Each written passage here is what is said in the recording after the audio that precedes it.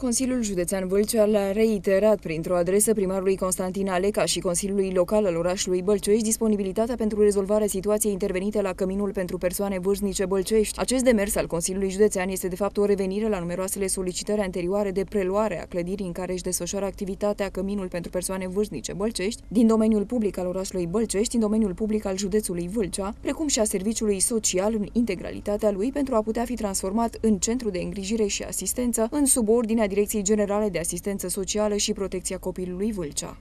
Eu vreau să fac un apel uh, foarte serios la domnul primar al orașului Bălcești, la consilierii locali, să nu închidă căminul Bălcești. Vă rog să nu închideți acest cămin, uh, stimate domnule primar și dragi consilieri, în condițiile în care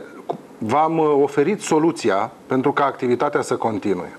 și activitatea la Căminul Bălcești poate continua sub forma unui centru de îngrijire și asistență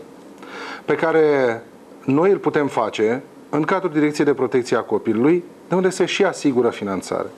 Așadar, activitatea și bătrânii care se află acolo pot fi ocrotiți în cadrul unui centru de îngrijire și asistență, iar oamenii, uh, cei care au grijă de acești uh, pacienți, își pot păstra și locurile de muncă. Activitatea uh, de acolo este una foarte importantă și de aceea fac acest uh, apel. Vedeți, dumneavoastră, ne-au răspuns uh, la propunerea noastră cu o adresă aproape identică cu cea făcută în luna decembrie. Fac așadar un ultim apel la conducerea primăriei Bălcești și Consiliul Local să fie de acord să înființăm acolo un centru de îngrijire și asistență și astfel bătrânii să poată fi îngrijiți în continuare și să salvăm și locurile, locurile de muncă. În caz contrar, domnul primar și consilierii locali își asumă practic închiderea căminului pentru persoane văznice bălcești,